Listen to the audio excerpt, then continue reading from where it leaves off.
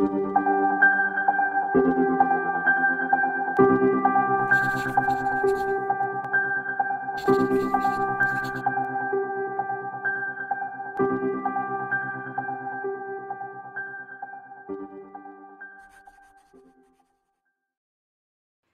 today we're going to be talking about the Antichrist. So before we do, let's let's pray, eh?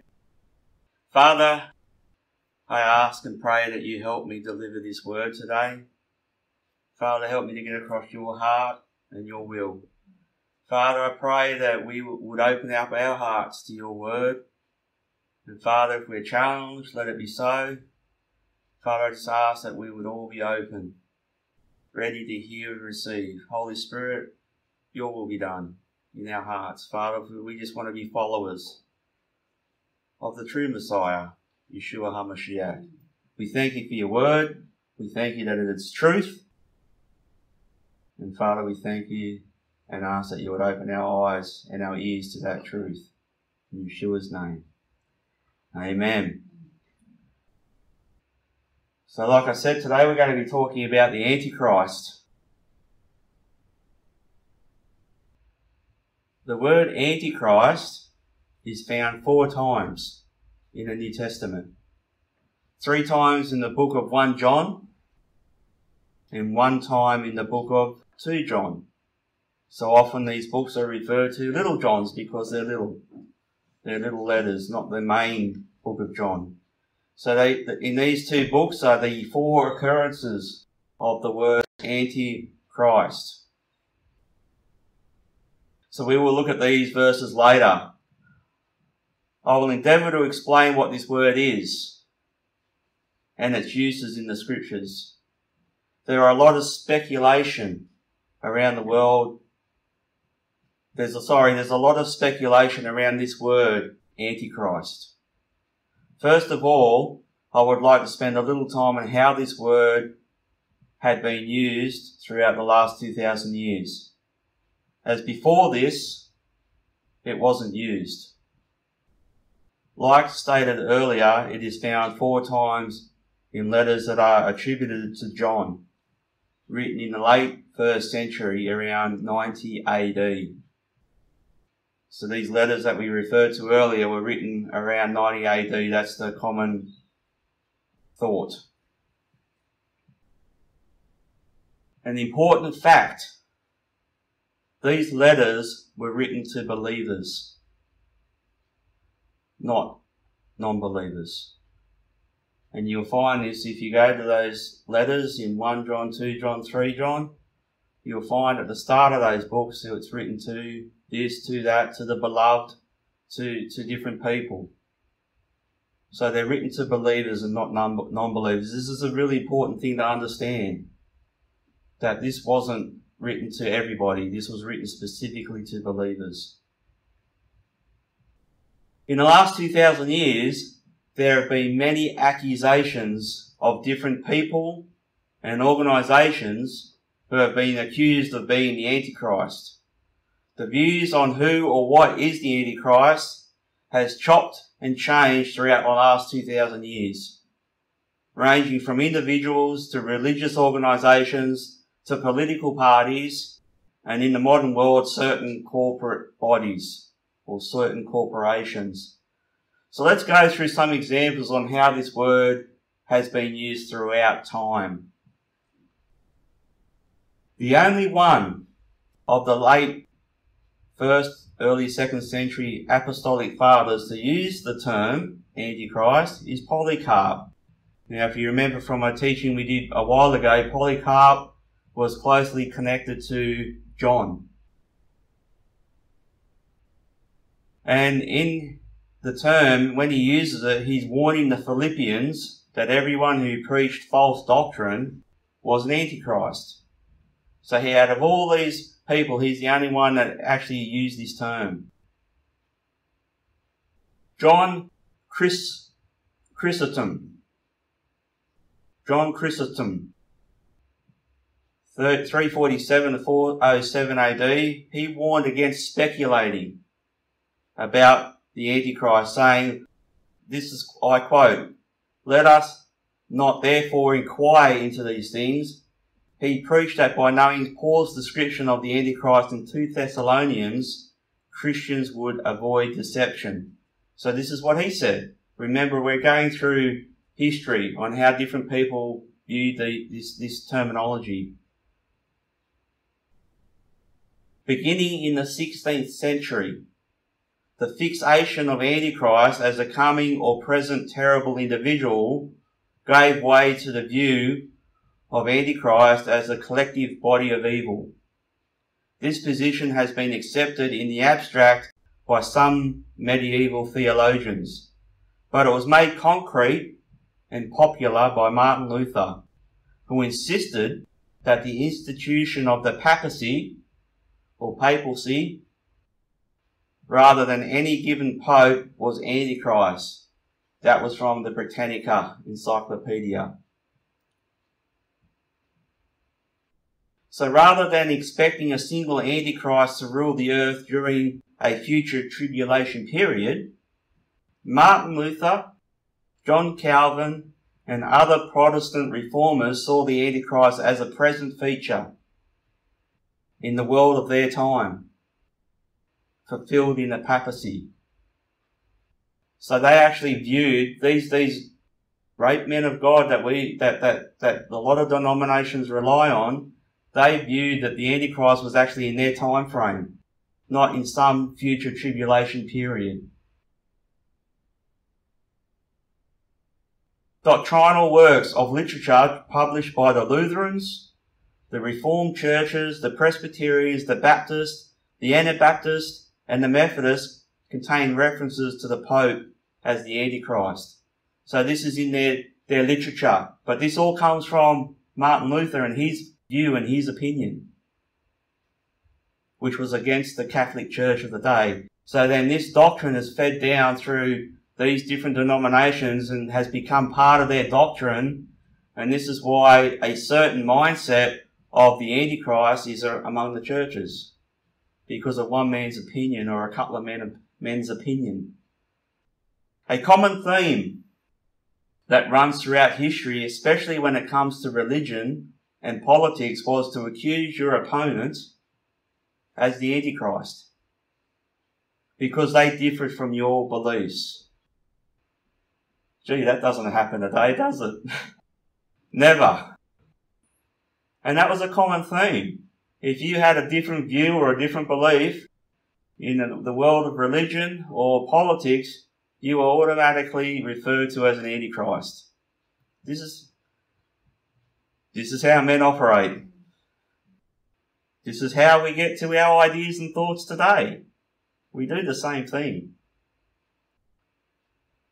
Protestants against the Pope and against the Roman Catholic Church. This is an example. So the Protestants would just label the, the Pope and the Catholic Church as the Antichrist because they're the opposite side. The Russian Tsar, Peter the Great, who reigned from 1689 to 1725 AD, was named the Antichrist by his opponents, who were the old believers of the Russian Orthodox Church. Why? Because the Tsar persecuted them. So he, so they accused him of being the Antichrist because he was opposite or opposing them. Leaders of countries or dictators were often referred to as the Antichrist. For example, there was a chap by the name of Frederick II who was anti-papal.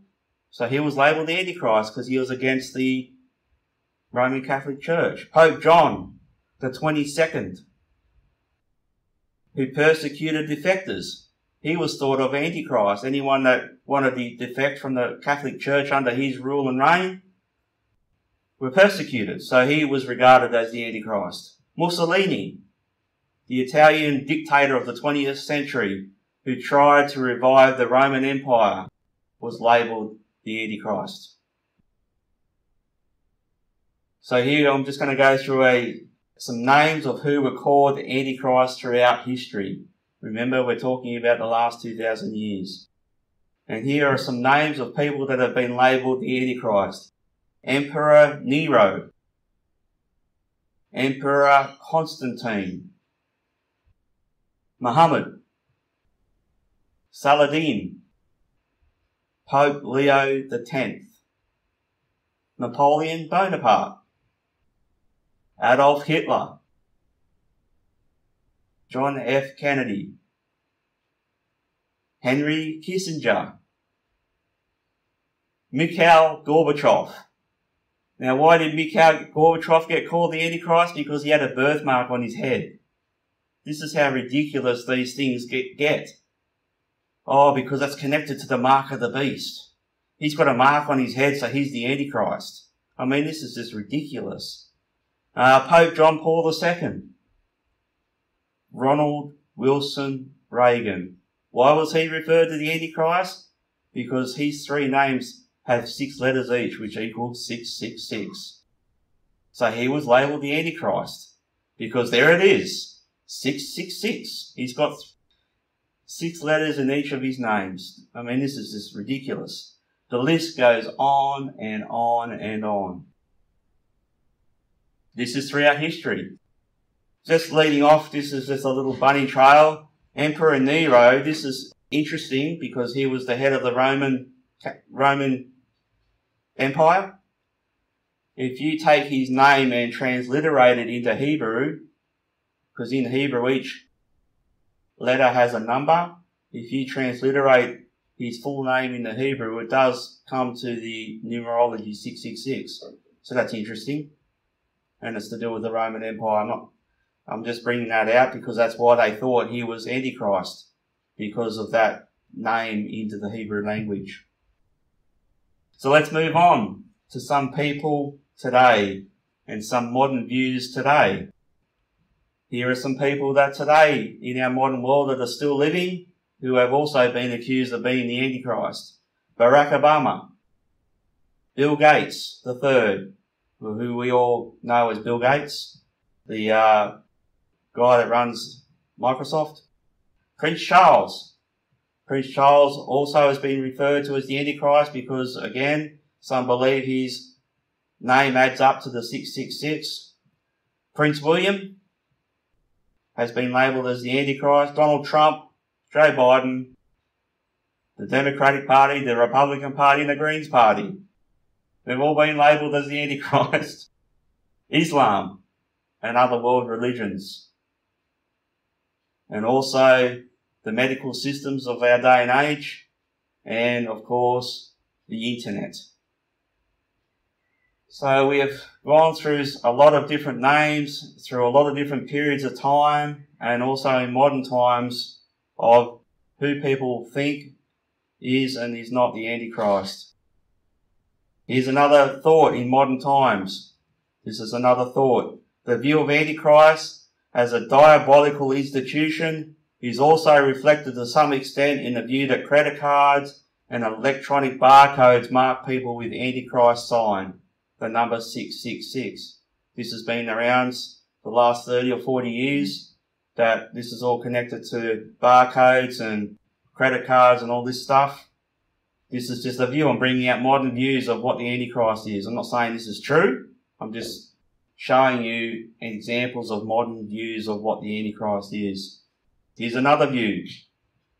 Again, it's just a view. The Eastern Orthodox, which is Russian.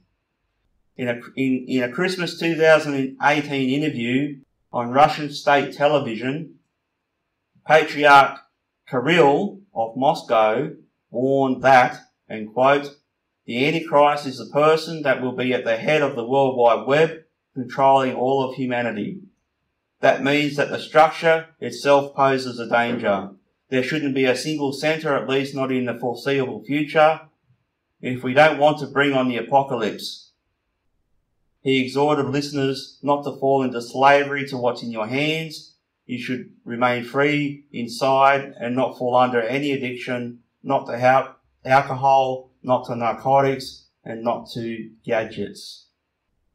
Again, this is just someone's opinion, someone's view of what they think that the Antichrist is. I find it interesting that uh, he says that we don't want to bring on the apocalypse. The apocalypse is coming. whether we, we can't stop it. It will come when it comes. It will come in the time and the will of Yahweh. No, no man on earth can stop the apocalypse coming. It's his will because it is written that these things will take place. So all of this is to give you an overall view of the thoughts on the Antichrist throughout history, continuing to this very day. We see varieties of rulers, people, business, religions, politics have all been proclaimed as the Antichrist. There is nothing new under the sun. There has been and continues to be much speculation of who or what this Antichrist is. They can't all be right. All the examples, all the people, all the accusations, they've all claimed that this is the Antichrist. And obviously, they can't all be right. It's all speculation. Speculation runs rampant among the believers today.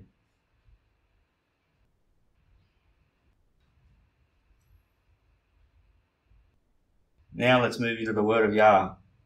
2 Timothy 4, 2 to 4. And it says, Preach the word. Be ready in season and out of season. Convince, rebuke, exhort with all long, long suffering and teaching. For the time will come, future tense, the time will come when they will not endure sound doctrine but according to their own desires. Because they have itching ears, they will heap up for themselves teachers.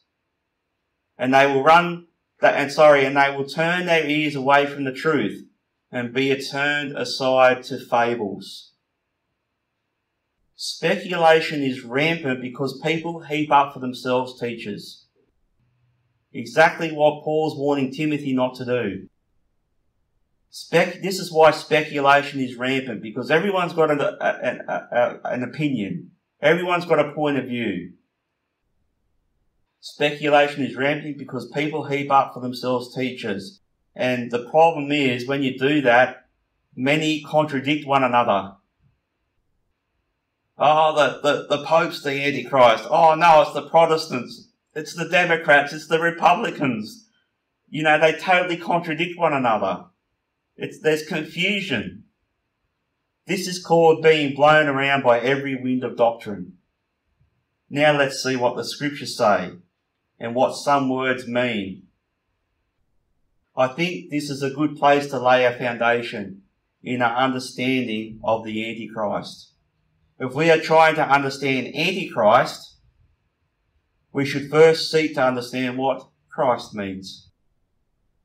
I think that's a good idea and a good place to start to actually understand what Christ means biblically, not from men's doctrines point of view. So with that said, because Christ and Antichrist are New Testament words, we're going to look at the Greek first, and then we're going to break it back to the Hebrew.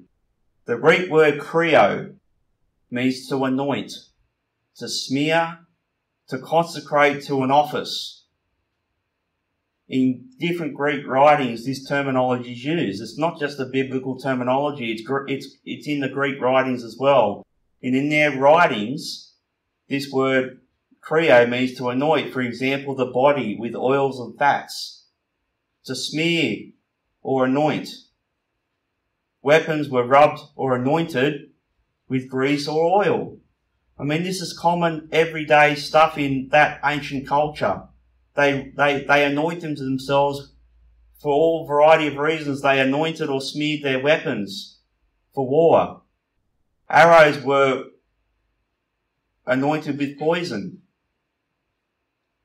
They also rubbed and over to colour and whitewash and to paint. This is where we get the word paint is connected with being anointed. Why? Because they rubbed, they, they smeared a substance over, over a surface.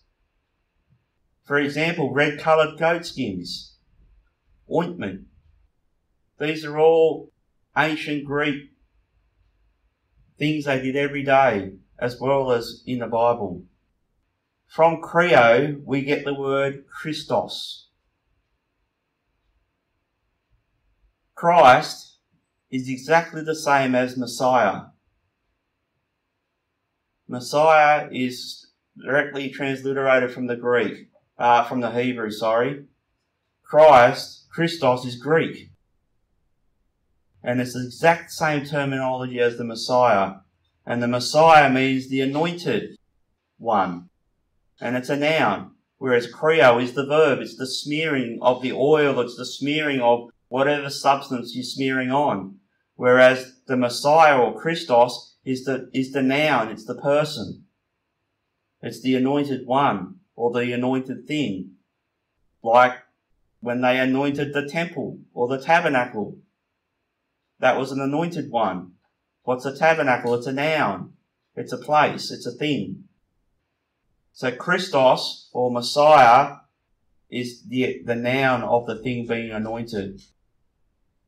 So let's go over to the Hebrew. In Hebrew, the word is mashach. Mashach. And it means to smear, anoint, ointment, paint. So we see all the similar meanings in, in the Hebrew word. Also means as consecration setting apart for the office or an office. Ointments were made from oils and smeared on injuries for healing.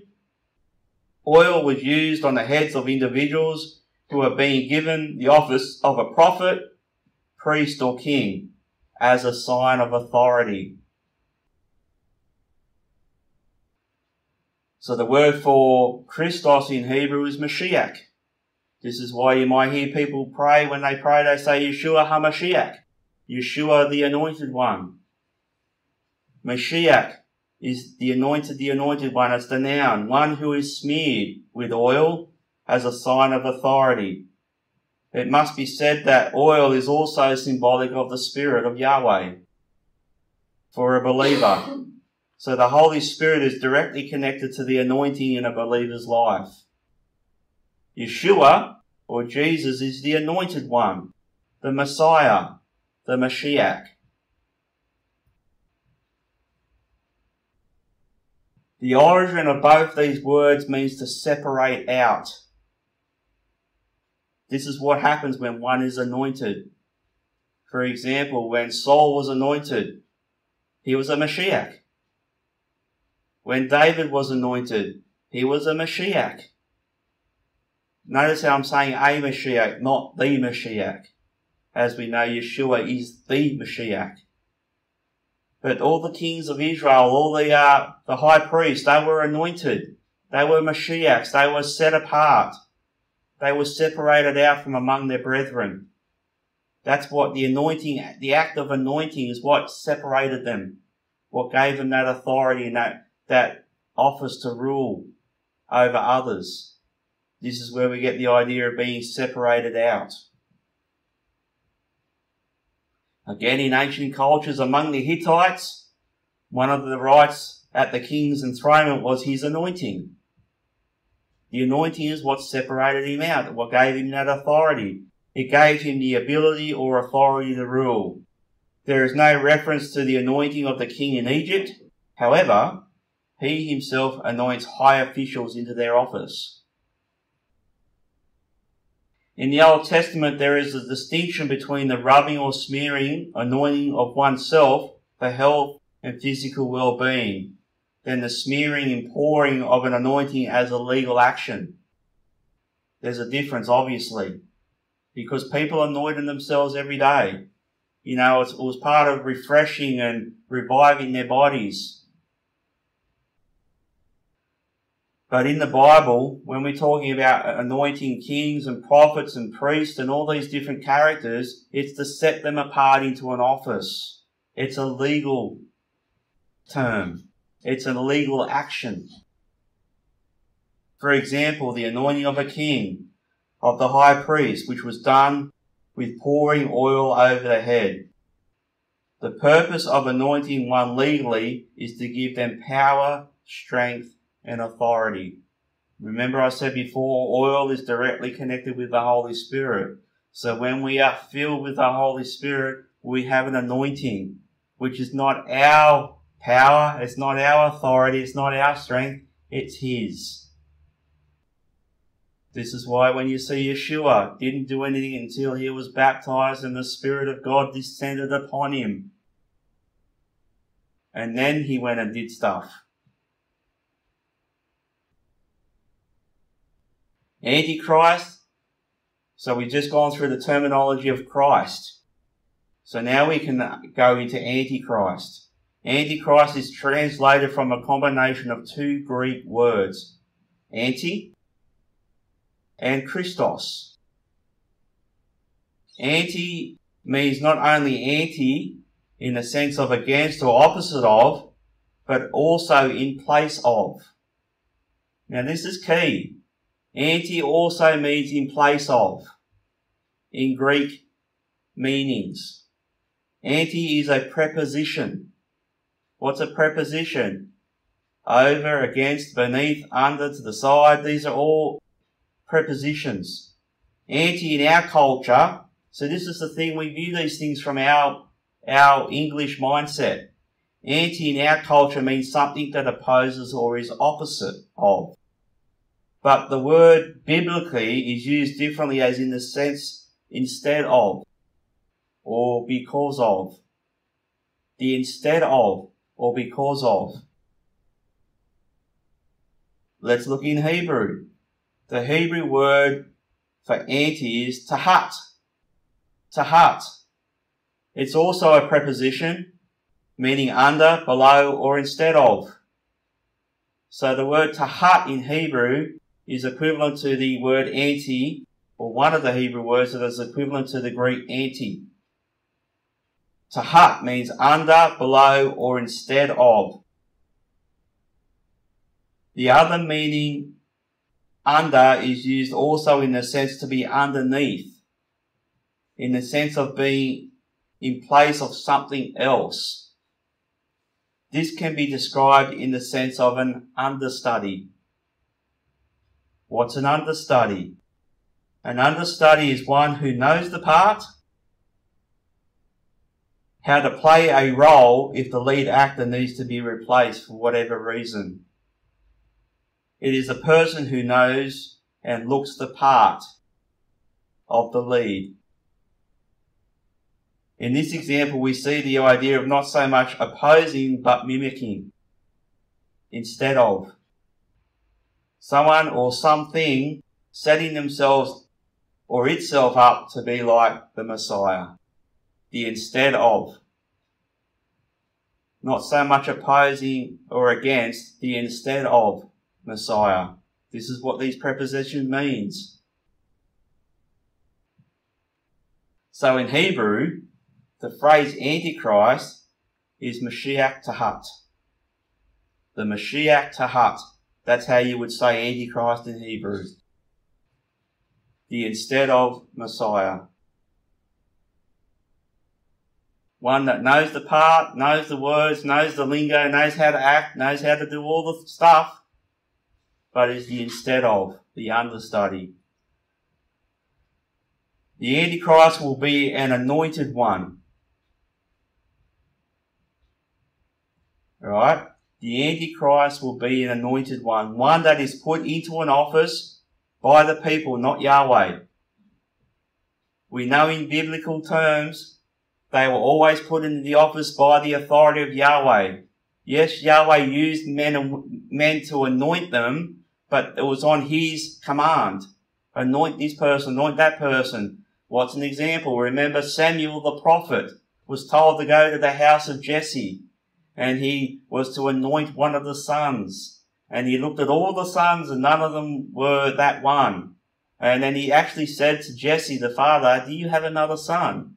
And he said, yes, I do. He's out in the field. Go and get him. And he was the youngest of the seven. So it's not so much being the eldest or the firstborn. It's the one God chooses.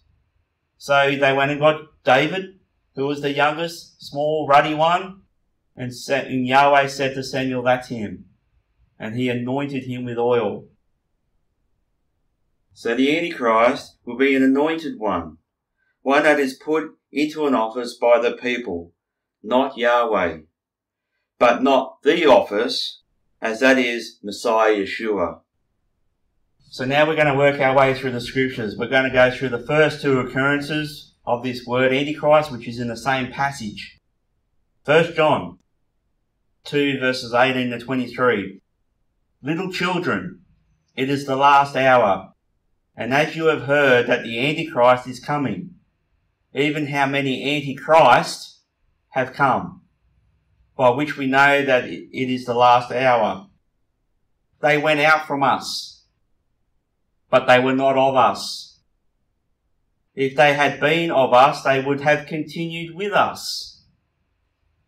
But they went out that they might be made manifest, that none of them were of us. But you have an anointing of the Holy One, and you know all things. Why? Because if you are anointed by the Holy One, you're filled with the Holy Spirit that will teach you all truth and guide you into all truth. I have not written to you because you do not know the truth, but because you know it. And that no lie is of the truth. Who is a liar? But he who denies that Yeshua is the Mashiach, he is the Antichrist who denies the Father and the Son. Whoever denies the Son does not have the Father either. He who acknowledges the Son has the Father also. This is why context is so important. In this passage, we have two occurrences, one of which is the Antichrist, singular, the Antichrist, and the other Antichrist, which is plural. So these two are obviously different. One was there, one was there are many Antichrist, plural, among you. So these antichrists were among the congregations, were among the assembly. They weren't outside, they weren't the pagans, they were among the believers, they were part of the believers. They were among them.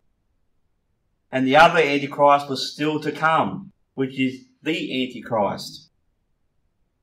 And then in verse 22, it goes on to say that whoever denies that Yeshua is the Messiah and the Father is Antichrist. Not the Antichrist. Anyone that denies the Father and the, and the Son is Antichrist, not the Antichrist. It says is Antichrist. These were all part of the assembly. I mean, this just amazes me because it says earlier that they went out from among them. They were part of the Mishpachah. They were part of the believers and they got upset and they took off, and that's when they were manifested as being as Antichrist. They were of them. They were among them. They were their brothers and sisters. They kept the feast with them. They broke bread with them. And they were called Antichrist. This is the context. Remember, John, the letter, these little letters of John are written to believers. They're not written to the people running the, uh, the, the pagan temples. They're written to the believers, saying that they were of them, and then they went out from among them and not of them any longer. There's much more to be said about that, but that's another time. Let's go on to another occurrence in John 1, uh, 1 John 4 verses 1 to 4. Beloved, again, believers. He's talking about believers. He's talking to the believers. Beloved, do not believe every spirit, but test the spirits, whether they are of God. Because many false prophets have gone out into the world. By this you know the Spirit of God. Every spirit that confesses that Yeshua HaMashiach has come in the flesh is of God. And every spirit that does not confess that Yeshua HaMashiach has come in the flesh is not of God. And this is the spirit of the Antichrist. The Antichrist. This is the spirit of the Antichrist, which you have heard was coming, future tense, and is now already in the world. You are of God, little children, and have overcome them because he who is in you is greater than he who is in the world. What's the context? Antichrist. So a couple of things in this passage. They had heard of Antichrist coming. This is 2,000 years ago. They had heard Antichrist coming is already in the world 2,000 years ago. I propose that Antichrist has been since that archangel said, I want to be God. I want to have dominion. I want to rule. I want to be the instead of. Right from the beginning and then manifested as the serpent in the garden that deceived Adam and Eve. And this is the exciting part for us as believers. First, verse 4 says, and declares that we overcome them because greater is he that is in us, the real deal, than he that is in the world, the instead of. For more on who we are in Messiah Yeshua in regards to Satan, I encourage you to watch the teaching series on Satan, the adversary.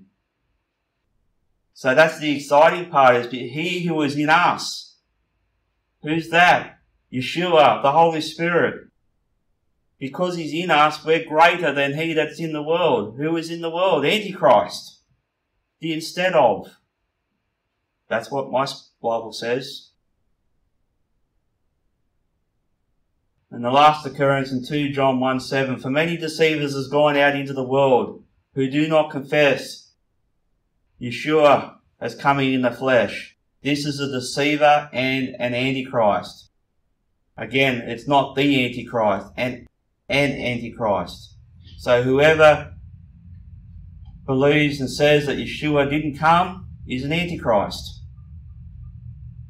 Again, we see these antichrists were around and are in the world. Anyone that does not confess Messiah Yeshua as coming in the flesh is antichrist.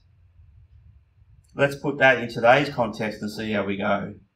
Wow. There's a lot of people that say that Yeshua was just a prophet.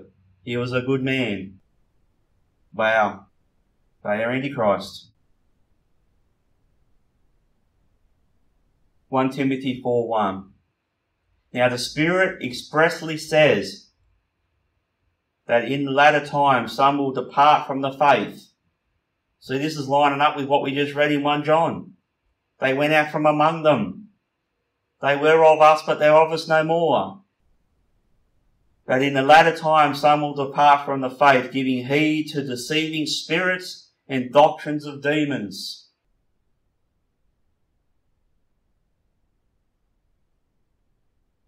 deceiving spirits, doctrines of demons are antichrist, obviously. These are people being influenced by Satan.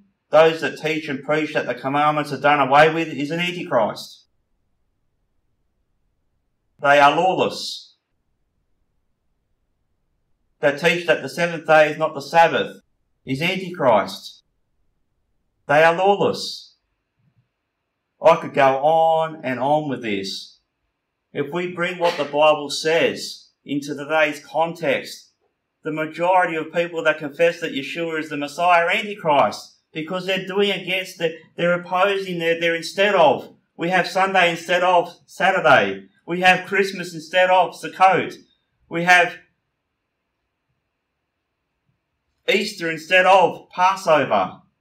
You see the instead ofs taking place. They have their own times and seasons. We eat pork instead of lamb.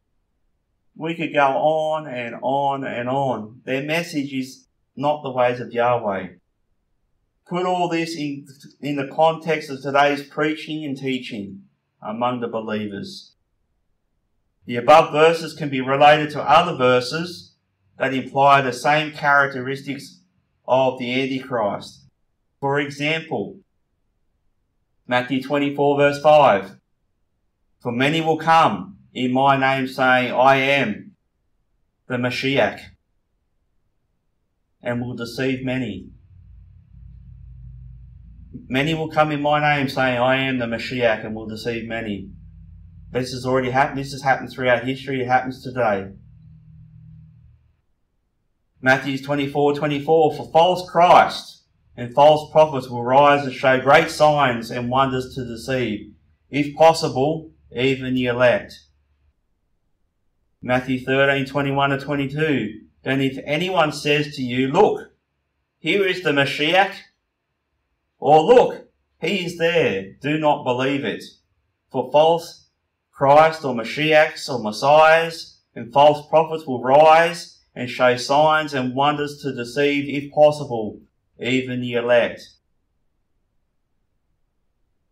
It does not say in these verses that we just read out, it does not say that the elect will be deceived. It says, if possible. It does not say that they will be deceived. It says, if possible, they will be. Even the elect, and we see that in 1 John, where the mentioned Antichrist, plural, were among them already. They came out from, from them. Remember the parables of the tares and the wheats. They were together.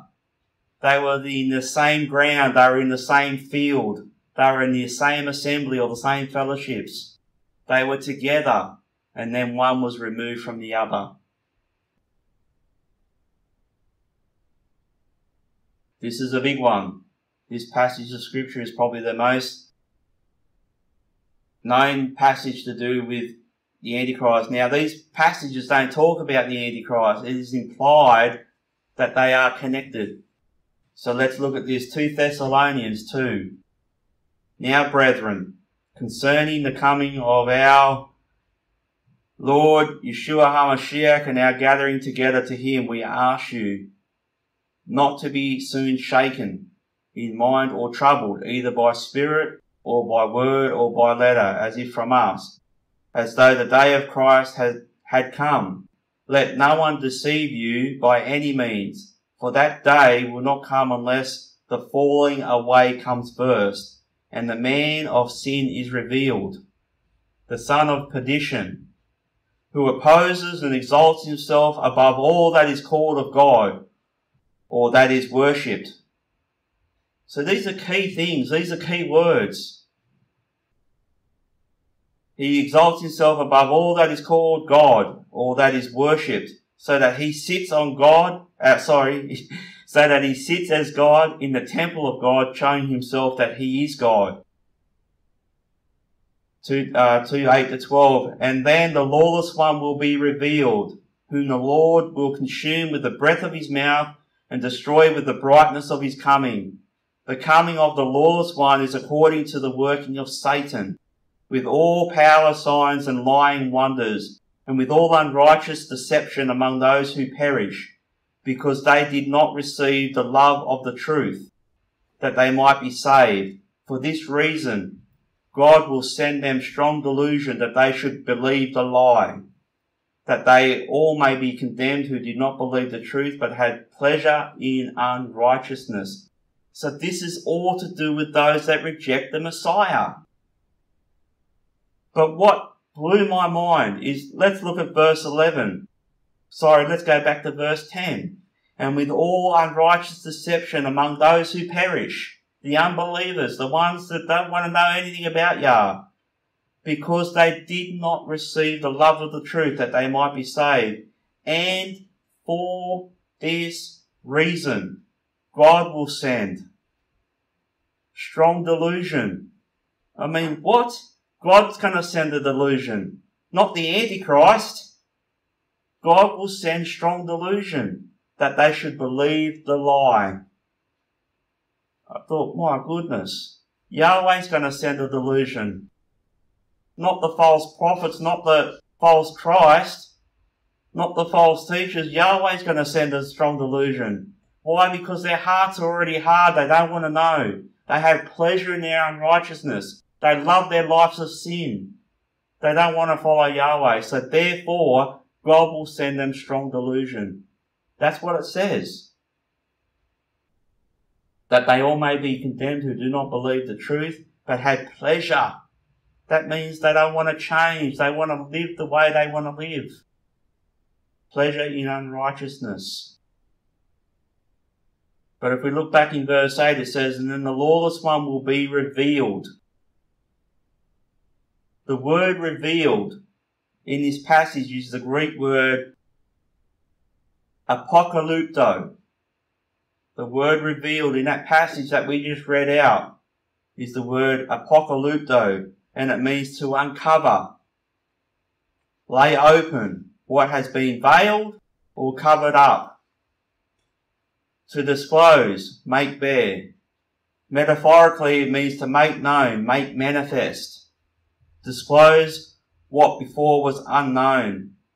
This is the same root word in our English word apocalypse, which is the word behind the book of Revelation. So the book of Revelation means something that has been uh, veiled and closed up. It's going to be revealed. That's the real meaning behind the book of Revelation. So why am I bringing this out? Because this is in reference to the man of sin, to the son of perdition, the lawless one, are believed by many as Antichrist. There's no argument there. They're believed by many, this, this man of sin, this son of perdition, this lawless one are believed by many as the Antichrist. We know from verses earlier that they were already at work in the world. But the point I want to make very clear is that the Antichrist, linked with all the other titles that we just mentioned, the son of perdition, the lawless one, the man of sin, are all titles just mentioned, will be revealed. They haven't been revealed yet. The Antichrist has not been revealed yet. It says that Yahweh will reveal them, will make what has been veiled, what has been covered, he will make them known. I don't believe that's happened yet, as far as the Antichrist. Those of us who are filled with and led by the Spirit of Yahweh will definitely see this coming. Why?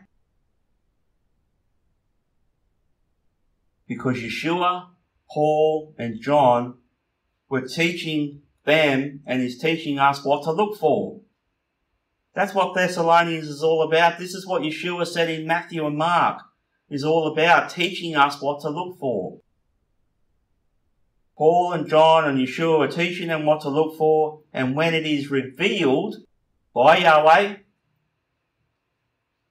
they will know, or we will know. It hasn't been revealed yet. I haven't heard of anyone doing the signs and wonders talked about what we just read. I haven't heard anyone doing that doing the signs and wonders talked about. One that is acting, I haven't seen this either, and I don't think anyone else has.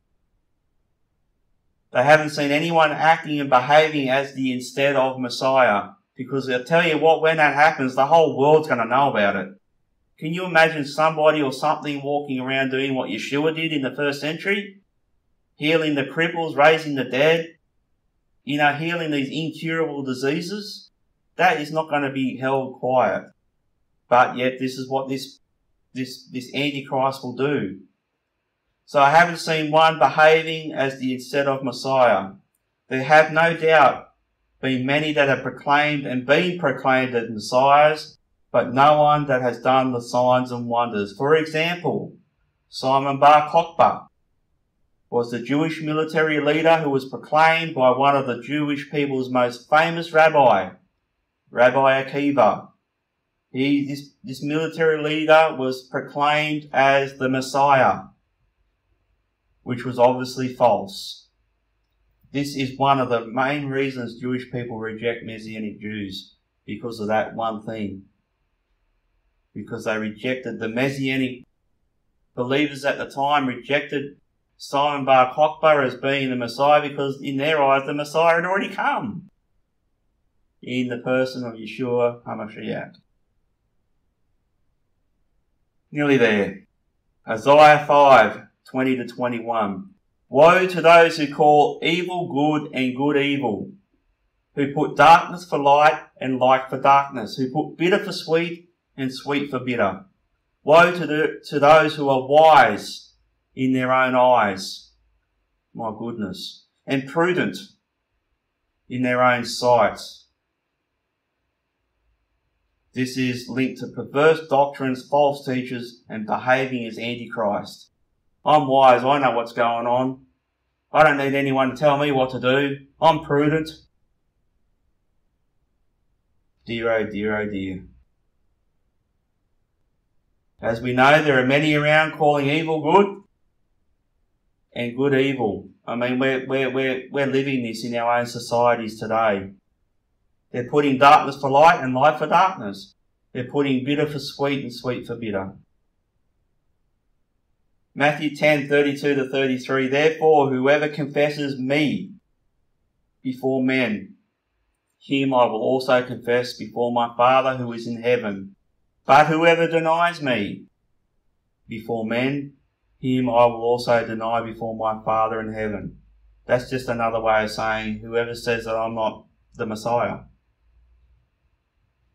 I will deny him before my Father.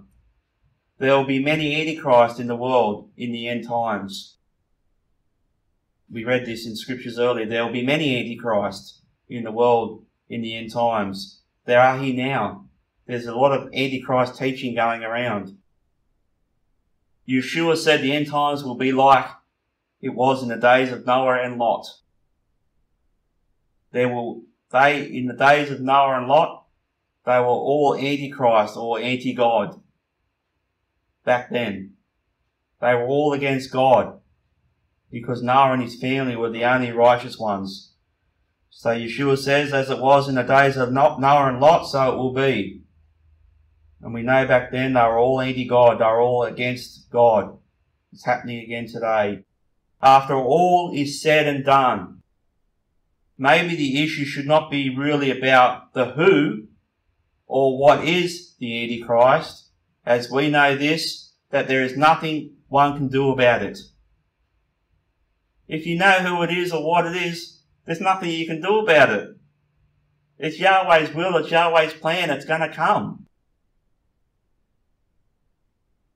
It is Yahweh's will, it's Yahweh's purpose that this will someday happen.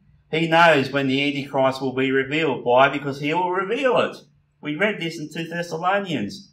It's, it's disclosed, it's, it's, it's veiled, it's covered at the moment. He's going to make it known. Maybe the issue should really be about you and your walk with Yahweh. As it seems to me in the scriptures that mention the Antichrist, or Antichrist plural, they are warning of how not to get caught up into the teachings of these false lying spirits.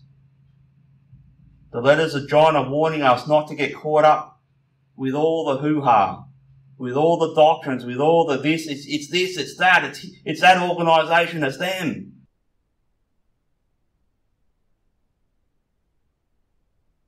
Yeshua and Paul also teach us what to look for and that it will be revealed in his time and not ours one's main concern and issue should be, are you following and walking in the ways of Yahweh? Do you confess that Messiah has come in the flesh and is the Son of God? And not only that, we have the authority over the Antichrist. We just read that. Greater is he that's in us than he that's in the world. We have authority over the Antichrist in Messiah. For as we read earlier, greater is he that is in us than he that is in the world. That was in the context of Antichrist. That was the passage we read out. It wasn't in another context. The one we should be looking for and concerning ourselves is Him, Yeshua.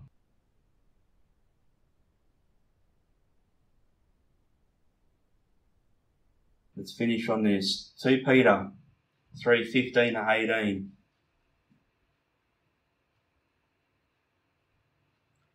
And consider that the long suffering of our Lord is salvation.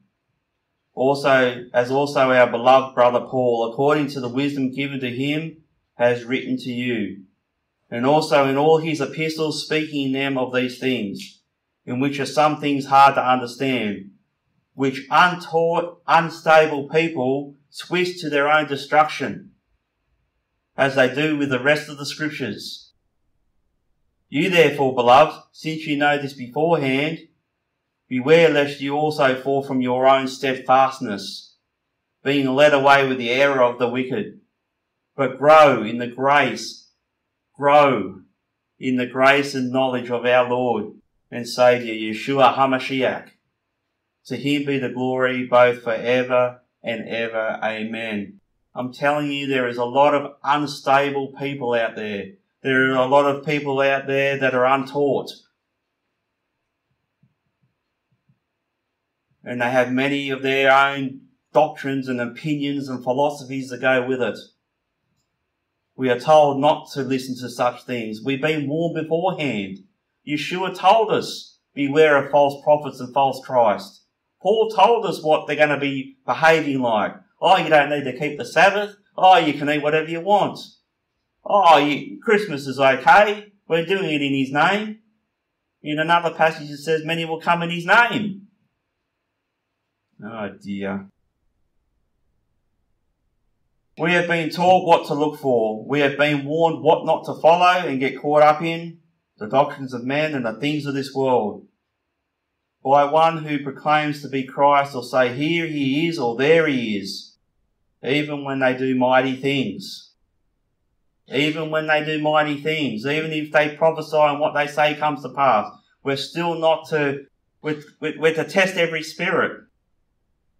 For Messiah Yeshua said he will return the way he left in the clouds. So if somebody comes back and is proclaimed to be the Messiah, my first question will be, did he come back on the clouds? So we're not to be entangled by the foolish issues of this world, but to preach the gospel and to make disciples. This is what Yeshua, one of the last things he said to the disciples. Go into all the world and preach the gospel and make disciples. It did not say to get caught up in all the rubbish that the world wants to get caught up in. As we have seen, many have been accused of being the Antichrist in the past, and many today are accused with the same accusation. Let us not get tied up in all of that. I don't believe we are called to call out the Antichrist. We're not called to call it out. Because Yahweh will make him known, or it known. And believe me, we will know when it is, or we will know when he is, or it is revealed. We know what to look for. We know what to look for. We need to guard and protect against false doctrines and teachings, for there are many out there, and they are mostly from men and women who want to be renowned themselves. They want a name for themselves. They want to have a hundred thousand people liking them and watching them and following them. This is where all this rubbish comes from. Is from men and women who want renown for themselves. They have a lust and a greed for power and fame. They don't give two hoots about your relationship with Yahweh and how to teach you how to draw closer to Him. They just want to, they just want to be known themselves. They do not follow the way which Yahweh has set forth in His Word. They are lawless. Without the Torah of Yahweh. We are called to be set apart from all this. We are called to be set apart from all that and be his representatives. Who are we supposed to be? His representatives here on earth and always be ready to give a defense to everyone who asks you a reason for the hope that is in you. That's what we're called to do. To give an account and a defense for when someone says to you, why aren't you freaking out?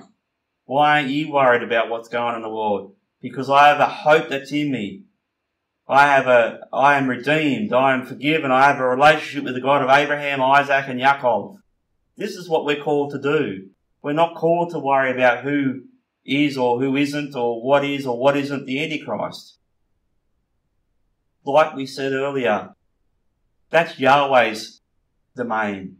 He will make that person or that entity or that organization or whatever it is, He will reveal it when He's good and ready. He will make it known.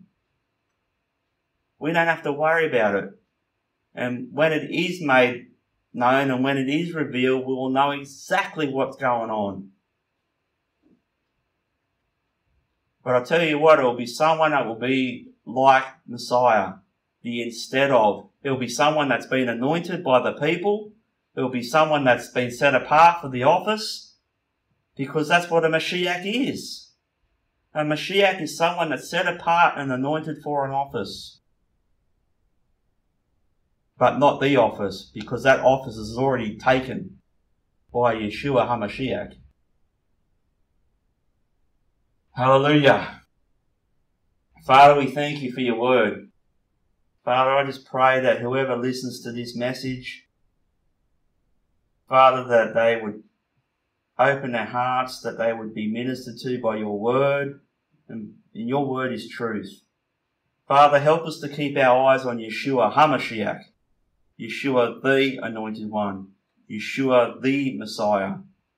And Father, help each and every one of us to be representatives of you and your kingdom on this earth. Father, to be a light unto the nations, to be a light among people who are living in darkness. Father, to be good in times of evil. And Father, to be sweet when there's so much bitterness and hatred around. Father, help us to be your people. Help us to, to fulfill what you said. Go into all the world and preach the gospel and make disciples. Father, help us not to get caught up in all the entrapments, in all the doctrines, in all the philosophies, in all the accusations. Father, that's bordering on Lashon Hara. Father, help us to keep away from that and help us to maintain who we are supposed to be, and that, that is your children, children of the Most High God. Father, help us in this day and hour. Remind us by your Spirit that we are called to be sons and daughters of light. Father, help us to give a defense to everyone that asks us for the hope that's within us. Father, that's all that matters. Father, we thank you that uh, your word is truth. Your scriptures don't lie. Father, we bless you and we praise you. Father, may we be a people that have a sound mind, people of power, not of our, not of our own power, but your power, your Holy Spirit, and the people of love.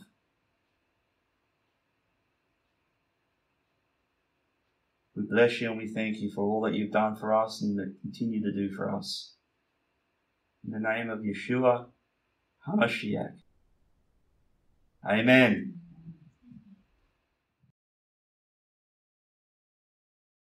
Thank you for watching. We pray that this teaching has been a blessing to you. For more information, please go to www.ancientfoundationbiblefellowship.com. Shalom.